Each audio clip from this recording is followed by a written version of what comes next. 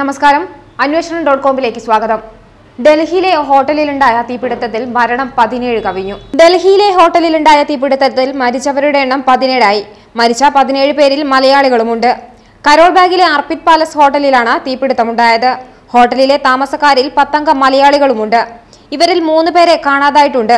തീപിടുത്തത്തിൽ എറണാകുളത്ത് നിന്നെത്തിയ പതിമൂന്നംഗ സംഘത്തിലെ ജയശ്രീയാണ് മരിച്ചത്. മരിച്ചവരിൽ ഒരു കുട്ടിയും ഉൾപ്പെടും. അപകടത്തിൽ അറുപത് പേർക്ക് പരിക്കുണ്ട്. സ്പീക്കർക്കെതിരെ പൊട്ടിത്തെറിച്ച് രമേശ് ചെന്നിത്തല. ഷുക്കൂർ വധക്കേസിൽ സ്പീക്കർ അടിയന്തര പ്രമേയത്തിന് അനുമതി നിഷേധിച്ച നടപടി ദൗർഭാഗ്യകരമാണെന്ന് പ്രതിപക്ഷ നേതാവ് രമേശ് ചെന്നിത്തല. സഭയിലെ ഒരു എം എൽ എക്കെതിരെയാണ് വധക്കേസിൽ ഗൂഢാലോചന കുറ്റം ചുമത്തിയിരിക്കുന്നതെന്നും ഇത്തരം വിഷയങ്ങൾ ഉന്നയിക്കാൻ അനുവദിച്ചില്ലെങ്കിൽ ഞങ്ങൾ എന്തിനാണ് സഭയിൽ വരുന്നതെന്നും അദ്ദേഹം ചോദിച്ചു. ഷുക്കൂർ വധക്കേസിൽ T V Rajesh M L എയും പി ജയരാജനും പ്രതികളാണ്. ഇക്കാര്യം സഭയിൽ ചർച്ച ചെയ്യേണ്ടതുണ്ട്. ഇതിൽ ഒരു വിട്ടുവീഴ്ചയുമില്ല. വിഷയം ചർച്ച ചെയ്യാൻ സ്പീക്കർ അനുമതി നൽകാത്തതിൽ പ്രതിഷേധിച്ചാണ് സഭാ നടപടികൾ തടസ്സപ്പെടുത്തേണ്ടി വന്നത്.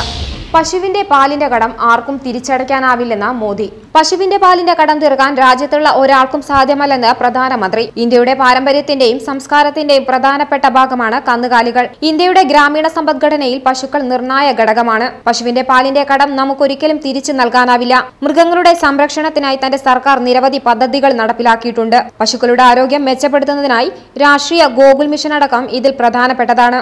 അവസാനമായി അവതരിപ്പിച്ച ഇടക്കാല ബജറ്റിൽ രാഷ്ട്രീയ കാമധേനു ആയോഗിനായി അഞ്ഞൂറ് കോടി വകയിരുത്തിയിട്ടുണ്ട് തന്റെ സർക്കാരെന്നും മോദി പറഞ്ഞു. കന്നുകാലികളെ വാങ്ങുന്നതിനായി നിരവധി വായ്പകൾ അനുവദിച്ചു. രാജ്യത്തെ ക്ഷീരവ്യവസായത്തെ വളർത്തുന്നതിന് ഇത് ഏറെ സഹായകരമാവുമെന്നും അദ്ദേഹം പറഞ്ഞു.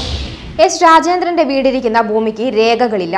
എം എൽ എയുടെ വീടിന് സമീപത്ത് നിന്ന് മണ്ണെടുപ്പ് നടത്തിയ ഭൂമി കെ എസ് സി ബിയുടെ ഉടമസ്ഥതയിലുള്ളതാണെന്ന് വില്ലേജ് ഓഫീസറുടെ റിപ്പോർട്ടിൽ പറയുന്നുണ്ട്. എന്നാൽ ഇത് സി പി എം നേതാവ് ലക്ഷ്മണന്റെ ഉദ്യോഗസ്ഥയിലുള്ള ഭൂമിയാണെന്നായിരുന്നു നേരത്തെ ഉണ്ടായിരുന്ന അവകാശവാദം. ഇതിനിടെയാണ് എസ് രാജേന്ദ്രന്റെ വീടിരിക്കുന്ന ഭൂമിയെക്കുറിച്ചും വില്ലേജ് ഓഫീസർ അന്വേഷണം നടത്തിയത്.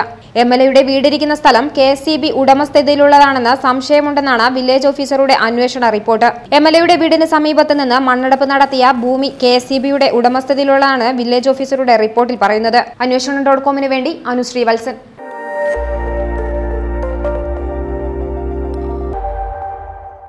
Chamanur, your magic.